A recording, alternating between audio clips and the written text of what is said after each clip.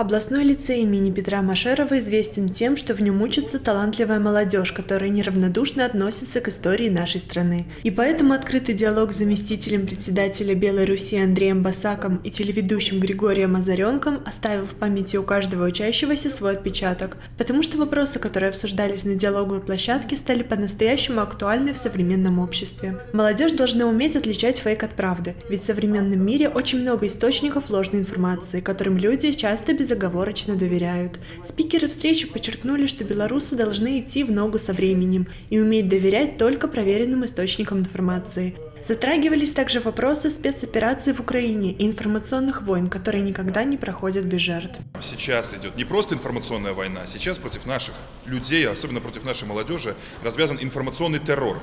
И вот чтобы они не стали жертвами информационного террора, не совершили жизненную ошибку, которая пустит э, под откос просто всю их жизнь, чтобы они не верили лжецам, провокаторам и мерзавцам, которые хотят здесь стравить белорусов между собой, хотят устроить здесь войну, мы с, э, вместо с э, э, общественным объединением «Белый «Белая Русь» запустили вот такой проект «Вопросы истории, вопросы нашего прошлого». Это вопросы актуальной политики. И там, где мы берем силу, там, где мы черпаем гордость за, за наших предков, которые 17 сентября 1939 объединили Беларусь, которые выстояли в 41-м, которые победили в 45-м, которые никогда не принимали предательства. Среди нашего населения предателей, вот БЧБ коллаборантов, было меньше всего из всех народов Советского Союза. И вот эту историческую энергию мы сейчас должны черпать из нашей истории истории и передавать ее будущим поколениям. Так как же отличить правду от лжи и не стать жертвой информационной войны? Ответ на этот и многие другие вопросы молодежь узнала от главных спикеров мероприятия, которые не оставили их без внимания. У молодежи есть запрос, есть запрос на правду,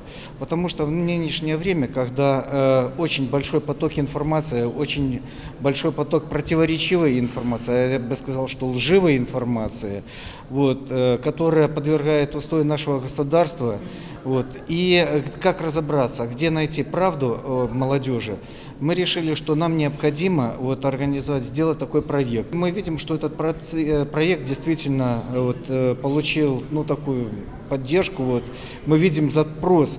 И мы рассказываем именно здесь, вот основными темами нашими является именно же, именно как отличить правду от лжи и где получить вот эту правдивую информацию. И говорим, что, конечно же, самая правдивая информация только в официальных средствах массовой информации. Встреча в рамках республиканского проекта «Будь в теме» проводится во всех крупных городах нашей страны. Данное мероприятие имеет большую значимость для нынешней молодежи, поскольку зачастую именно они попадают в паутину информационной лжи, используя гаджеты. Чтобы этого избежать, учащиеся лицея стали главными участниками диалоговой площадки, на которой смогли узнать ответы на интересующие их вопросы. Я думаю, что такие встречи – это довольно важно, потому что ну, не всегда мы можем быть уверены в достоверности информации, которую нам дают в интернете.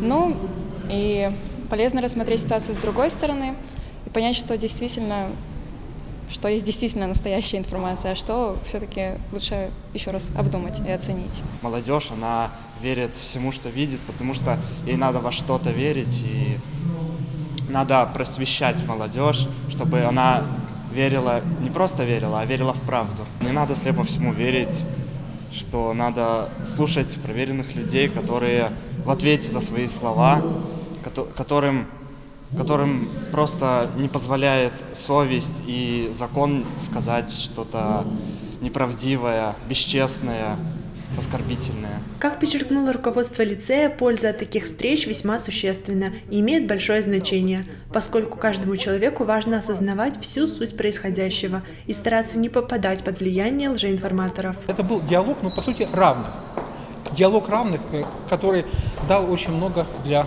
лицеистов, для понимания того, как работать с информацией, для понимания того, как важно не совершать ошибок, которые могут иметь ну, даже трагические последствия. В этом смысле мы очень признательны нашим гостям, участникам диалоговой площадки. И я уверен, что они, общаясь с нашими лицеистами, тоже подчеркнули очень много полезной информации. На этом проект «Будь в теме» не заканчивается. Впереди еще будет организовано множество встреч и бесед с молодежью, в рамках которых будут обсуждаться наиболее актуальные и значимые для всех вопросы.